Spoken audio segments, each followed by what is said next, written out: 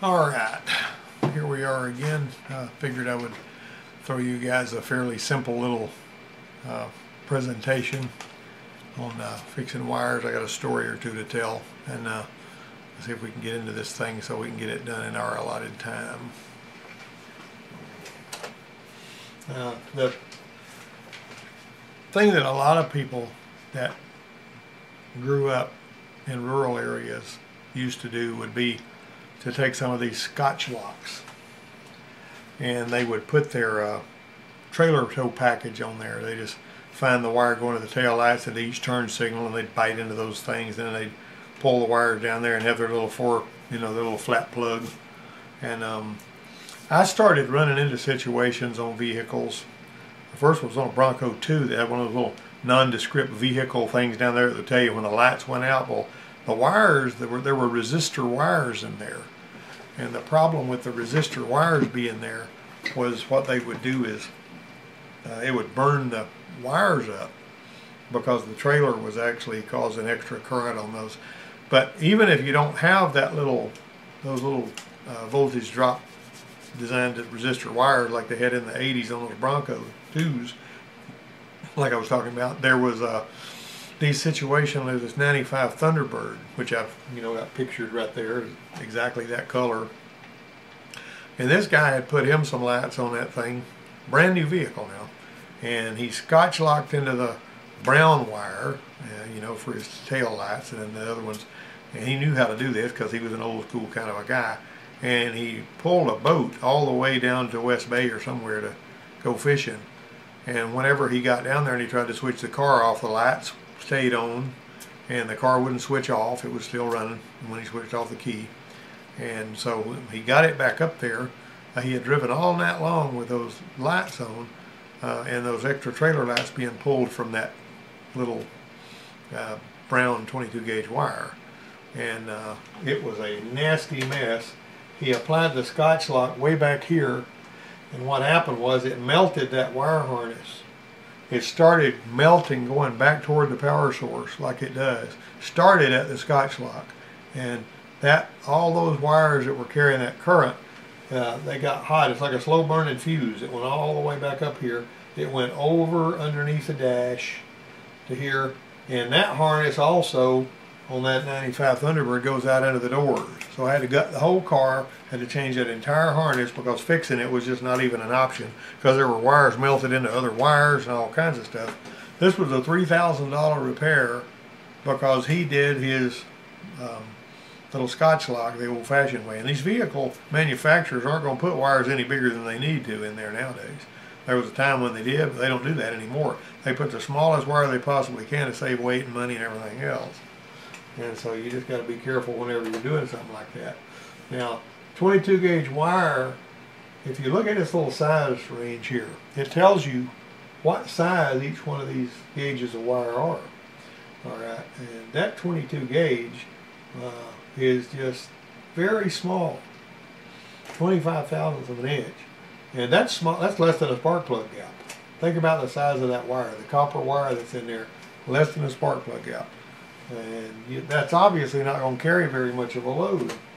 Well, you got to burn this in. You understand how relays work. Uh, whenever you put power and ground here, these contacts go together and that puts this one and this one there. If you let the relay do the heavy lifting and the little faint little circuit that's 22 gauge wire operate the relay, then you're a whole lot better off because the relay is actually doing the, the muscle. Now you do have to pull fused power from somewhere to feed the relay so that it has enough strength to carry the load. That's really important to do that. Uh, adding loads, and I've seen this on uh, Ford pickup trucks when I was working at Ford dealership. People would add a bunch of uh, maybe cab lights, they'd add these lights down the running boards, and they would just find that brown wire up under the truck and they would scotch lock into it. Now it's going to find the weakest link in the chain. If that happens to be the wire, the wire is going to melt. In these particular cases on the pickup trucks, usually what I would see would have burned out headlight switch, just like that right there. Uh, you know, there'd be that the one that was going out to those lights would you know cook the switch. Then you had to put a, a new uh, pigtail in there and a new headlight switch and all that kind of stuff. Uh, but I don't know how many of those I saw. Also on motorhomes, there were uh, these motorhomes for a while came out. They had little plastic stoplight switches that were so crummy and cheap. They were on some of the older Ford vehicles. Well, the uh, F53 chassis motorhomes came out with those same dadgum cheap uh, switches, and they have these great big massive lights on the back for stoplights, and it would burn that switch out, and they'd lose their stoplights. And so what would happen was, I would take that uh, stoplight switch and I would replace it. And of course, they eventually came out with a more robust switch they had us putting them on there. But I would take their before they did that, and I'd put a relay under there, usually like a fuel pump relay with a pigtail that you get in the parts room, and I would let the stoplight switch close the relay, and then I would let the power that was, you know, originally powered up the stoplight switch, uh, power up the uh, relay, uh, common terminal or the normally open, whichever you decide to do, it don't matter in that case. And then I'd ground the coil on the other side, and when they mashed the brake, they'd hear that relay click, but it was doing the heavy lifting, and they didn't burn things out that way. Um, okay, so the factory on this truck, you might notice for marker lamps and all, had a relay right here to into the trailer adapter. Now some of them only put a relay pull in the marker lamps, but they let the turn signals, you know, be carried by the existing wiring. Uh, personally, I don't like that. Most of the time, if you put a trailer tow package on one, it's not going to be like that. It's going to have a relay for everything. Um, but in this particular case, the way they wired it up was like that. Now, here's a little story. uh, back in 95, when Explorers like this one here behind me were brand new, uh, I got one that was still under warranty that the people had driven it to uh, Tennessee. They drove all night long. And this was a brand new vehicle now. There's no reason why they shouldn't have been able to drive all night long burning the headlights. And so uh, they uh, came in they said the headlights don't work. And I took the headlight switch out. And the headlight switch was all destroyed. And it was a little switch like that one. Was all burned up like that right there. And so I said, well, these lights were obviously pulling too much current driving all night long. The piece of information they gave us that was crucial was that it was an all-night drive with the lights on. And so I said, we don't want this happening to them again. So I got one of my little green fuel pump relays like the older Ford EEC systems used. And there was plenty of room in there behind that headlight switch and I mounted that relay. Uh, because see the power that's coming out of the headlight switch goes to the, to the uh, multifunction switch so you can brighten dim your lights. So all I needed to do was get uh, that load off of that headlight switch and to be carried by a relay. So I mounted a relay. I let the headlight switch turn on the relay, and then the relay was sending the power out of the multifunction switch. All the wiring was right there. It wasn't difficult to do. Of course, I had to ground the coil on the, you know, on the side of the relay. So I did that, and, and I fixed that one. Well, what was interesting was five, six years later, uh, I had left the Ford dealership, went teaching at college, and I got a call at the college from an engineer that worked for Ford Motor Company, and he said, I saw that you fixed the headlight that had burned up a switch on a 95, and this was in 2001, remember this now, on a 95 Ford Explorer. And I said, yeah, I remember that. And uh, he says, uh, well, I have got to write a field fix for a bunch of cars in Europe that are doing that. And I would just like to know how you did this because I know it. I noticed it never came back with the problem again. And so I was thinking, this guy's an engineer. Um, of course, I had the you know vehicle right there in front of me. There's a little bit of difference with that, but he had to write a field fix for those European cars, and so he gave me an email address. And what I did was I drew him a schematic of what I did and how I did it, so that he could actually do that. And I never saw the field fix that he wrote. I don't know if he used what I told him or not, but he seemed really happy with it. But here's what I did.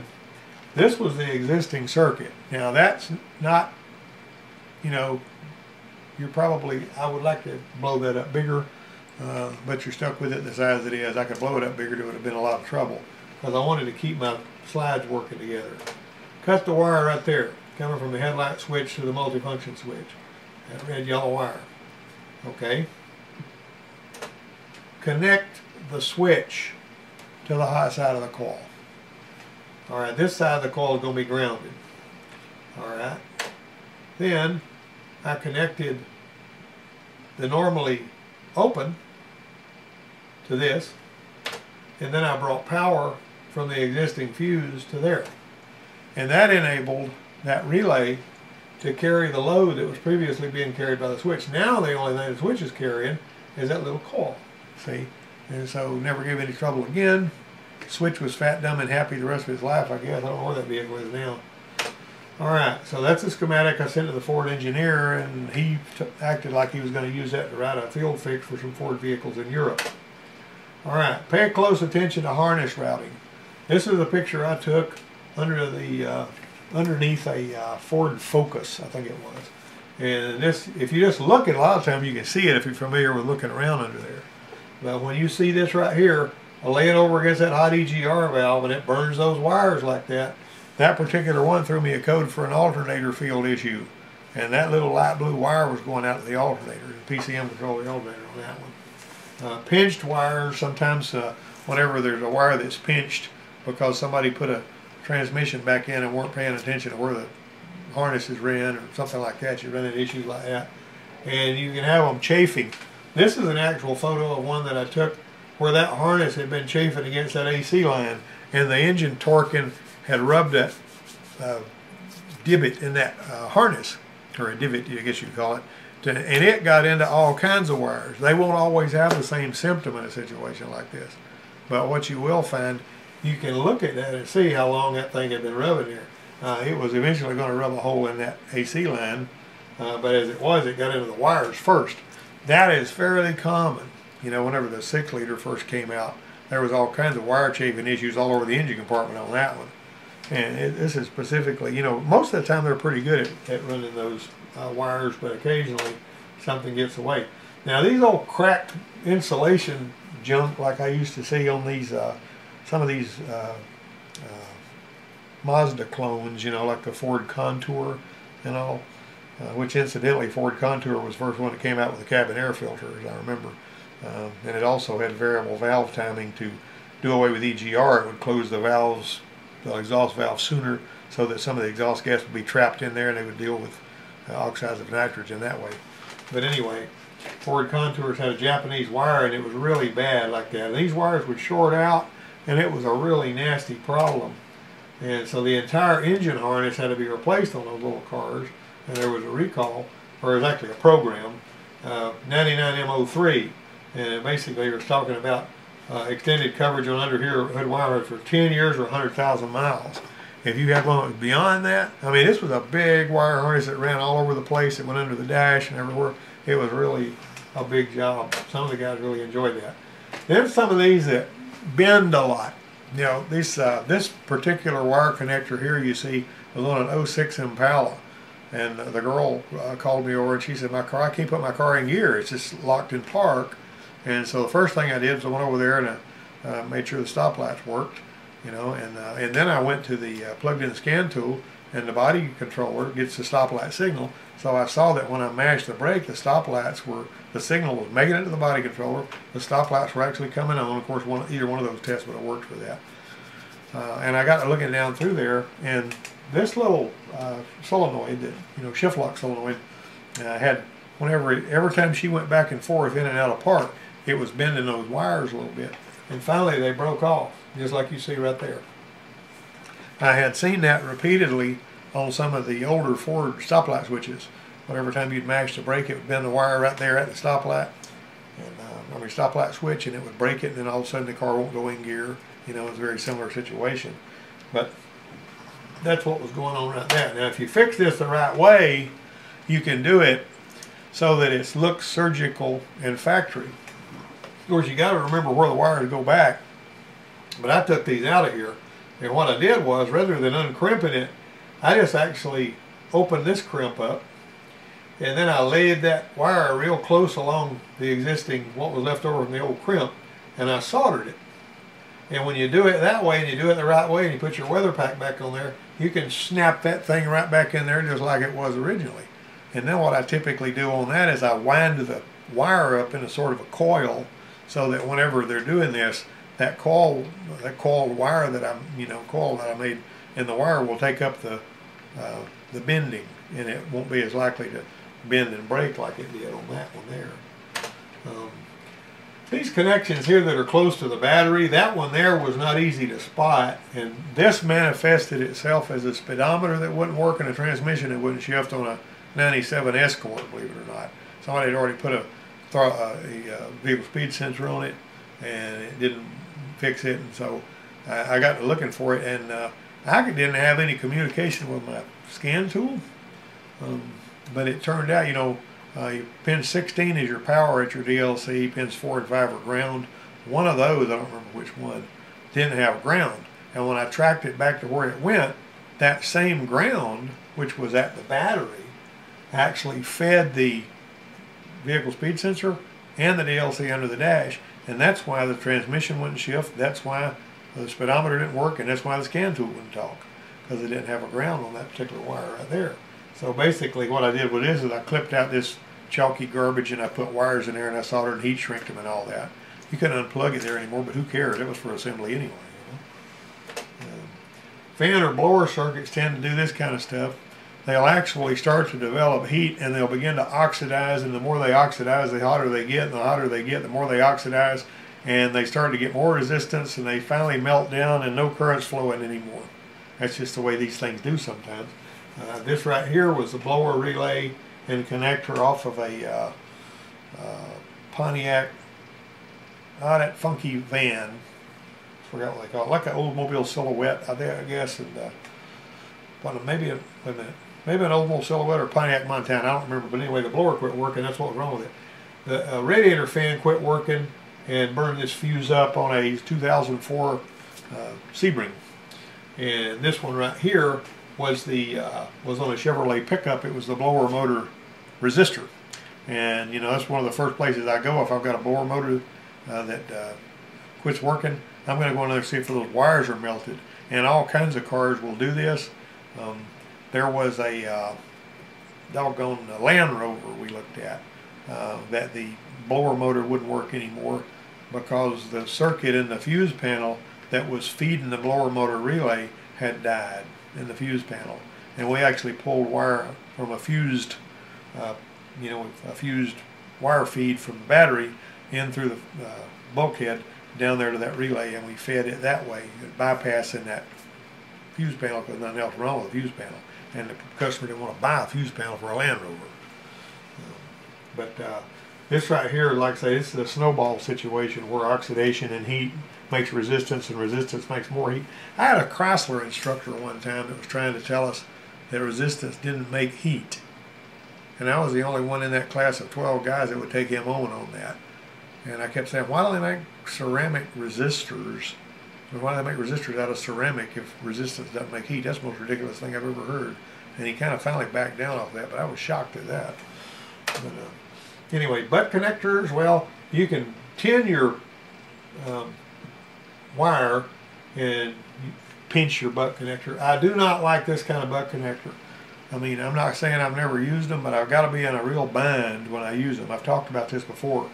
Uh, this one right here, I really like these kind because whenever you put it in there and pinch it, then you take your lighter and you can suck these down and they actually prevent the oxidation like I was talking about in the previous slide. That oxidation happens with butt connectors too. But if you keep the oxygen out, you don't get oxidation, right? Okay, so here you go. All right, that's my little, uh, I actually designed this little thing right here to hold the wires while you're soldering them. Make sure you put your shrink tubing on there first.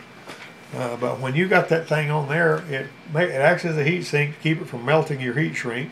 It holds it in place and you can solder it. And then when you slide your heat shrink over it, you don't have a big bump there where you actually tied the stuff together and then soldered it and it holds it very securely. I kind of got this idea from this Helping Hands thing they used to sell at Radio Shack, and you can buy them at uh, Harbor Freight now. But I got to thinking, well, I don't really need all of these, you know, uh, joints and everything with those things. Why don't I just get one piece of wire? I sent that off to Ford's Best Idea contest with Service Life magazine, won $100.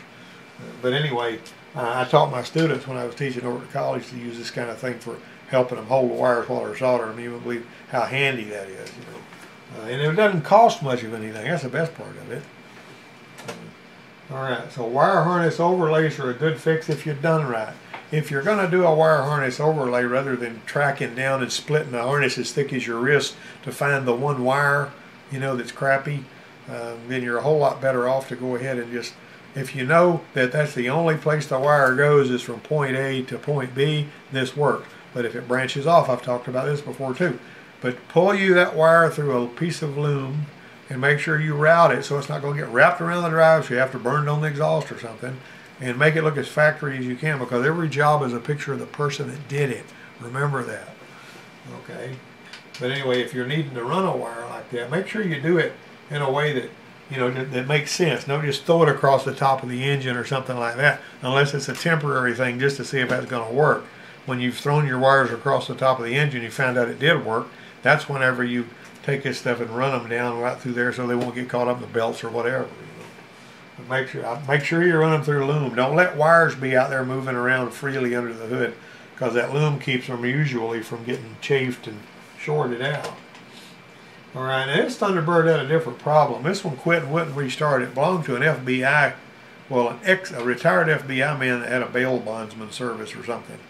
And this Thunderbird had the V6, I mean, had the V8 in it, the 4.6, and he was really happy with it. But it quit one day it wouldn't start. It's a weird thing. Not the not the only time I've ever seen anything like this either, but it was very strange. All right, so this right here, you might remember some of these uh, cars in the mid 90s, or Ford had came out with this electronic distributorless ignition system, EDIS. It was a little module, and uh, it was more sophisticated than, than the old TFI because you remember the old TFI had spark, spout for spark output. Well, this one here had what they call spark angle word, so that whenever the PCM would request a particular timing angle, this thing here would decide whether it was going to give it to it or not. You know, long short story short, this one didn't require any kind of a heat sink it could fire the coils without, you know, overheating and all that. Uh, so, and that's this module right here, that ignition control module. And it actually had this, uh, uh, this wire right here going to the, uh, or it might have been that one. One of these two wires. I can't remember which one of them was, but I think it was that one, but it could have, could have been that one. Uh, may have been the PIP wire, for some strange reason I was thinking it was that wire, but I think it was this one here actually, in spite of the fact that I've got that one drawn there. Okay. Uh, when I hooked up my, well, there's your EDIS 8 module. There it is unplugged. And the module was up here, and the engine controller was back here, and it went through this little uh, loom that went over the top. And it was wrapped in foil, you know, it was a grounded, shielded wire. All right, so uh, that was going here. Right, that was it right there. So that was your that's your block schematic of it. There's your little connector for that. There's your PCM connector. This is the only wire we give a rip about. That's the one that was given the problem. Well, what happened was, um, we uh, that that's where it was. I mean, that's another picture of a different car, but that's where that's where that wire runs on that Thunderbird. I hooked up this old service bay diagnostic system machine. That thing my best friend for about 10 years. And uh, I could uh, toy with this flat loom over here while I had this connected to troubleshoot that circuit. And they had special connectors for troubleshooting that circuit. And it would make you a little red symbol whenever it saw an open circuit there. And as I wiggled them wires right up on top of that shock tower, that connection would come and go. And I said, you know, that is really strange. And so what I did was I disconnected, I unhooked the, uh, wi the wire from the uh, ignition module, and I unhooked the wire from the engine controller because it didn't go anywhere else, and I untaped all that foil tape off of it, and I got that wire in my hand, and I absolutely couldn't find anything wrong with that wire. I ohmed it out, I looked at it from one end to the other, there was nothing going on with it, but it was somewhere right in the middle of that wire where this was taking place. Because uh, moving that, I wasn't moving anything else. So I actually got a couple of brand new connectors and I soldered them onto the end of that wire, made it the same length, and I pulled it through there, put the tape around it, made it just like factory, clicked it back in there, and that car started and ran, never never acted up again. And uh, I don't know how many times some of you guys have had a no start or something that didn't work, and you unplug and uh, plug back in the uh, a relay or a connector or something, and it wakes up and goes, you know, problem goes away. I always hate that kind of thing. In this case, I was able to track it down. Now, I will tell you it would have been a lot harder without the service bay diagnostic system, which is not there anymore. It's gone. All right, that one was fixed. Now we're going to whip our way through a test right quick. All right, using a digital multimeter function to check the volt for voltage drop, the meter lead should be connected in which of the following ways? What do you think? And we're talking about the voltage. You know, you can measure voltage drop either on the positive or the negative side. Well, let's just say that we're on the positive side this time. Probably answered the question for you when I said that. All right. Which of the following is correct regarding a series circuit? A. Each load has its own ground. B. The circuit must travel through all the loads to find ground. C. More loads uh, added means more current flow. And D. Highest resistance has the lowest voltage drop. What in the world is that? All right. When a digital multimeter is used to measure DC voltage and is connected in parallel with the load device, that means you're hooking it up power for ground right there. Which of the following defines a reading? Amp, voltage drop, voltage spike, pulse width modulation. Which of the following tools can be used to check the continuity of wires that carry digital signals? Meg meter, amp meter, logic probe, DVOM. Using a digital multimeter, a fully charged 12 volt battery should indicate how much voltage on the open circuit test. 9.6, 4 volts per cell, 1 volt per cell, 12.6 volts. Two technicians are discussing a battery state of charge. Technician A says a specific gravity of 1225 at you know 1.225 at 80 degrees Fahrenheit indicates a battery state of charge is approximately 75 cents. Verse cents, excuse me. Technician B says you can use a hydrometer to check battery state of charge on a maintenance-free battery if it has cell caps. Who's right? A only, B only, A and B, or neither A and B. When performing a load test on a battery, a technician finds the battery voltage drops below specifications. Now that means that you went for half the cold cranking amps for 15 seconds and it wasn't supposed to go below 9.6, right? Uh, something another way you can do that is you can uh, disable the ignition in the fuel and spin it for 15 seconds. Looking at the voltage while you're spinning it, it shouldn't go below, below 9.6. That basically checks it to see if it's suitable for that particular car. Okay.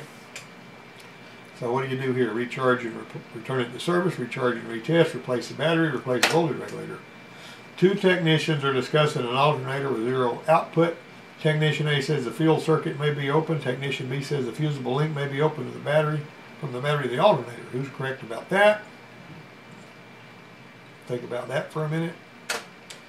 Which part of an alternator is included in the field circuit? A, the stator, B, the rotor, C, the rectifier, D, the housing. Charge assistance being checked for non-output.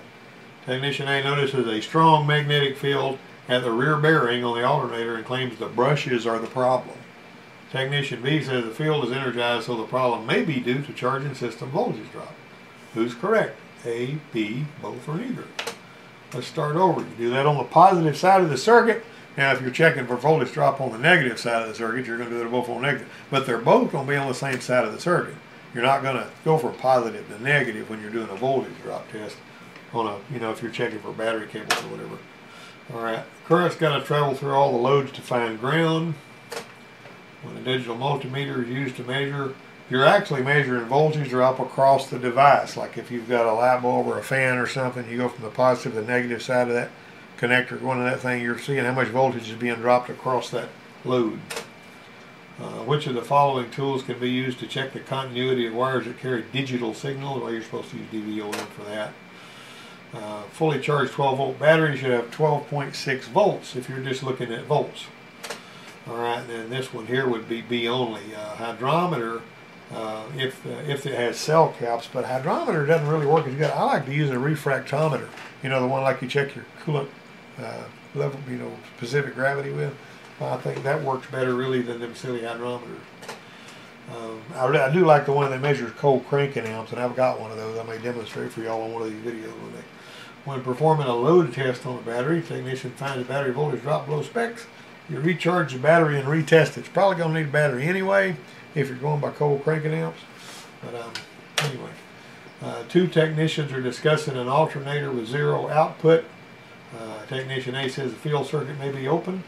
B says the fusible link may be open for battery alternator, both A and B.